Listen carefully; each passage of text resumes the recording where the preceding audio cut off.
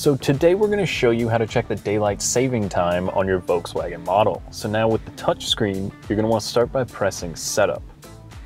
And then from there, you'll notice the system button. So we'll go ahead and select system.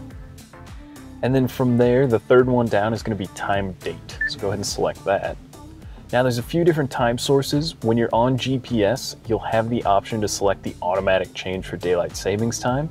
So as long as your time zone is set properly and you have that checked, it will automatically update for you when the time comes.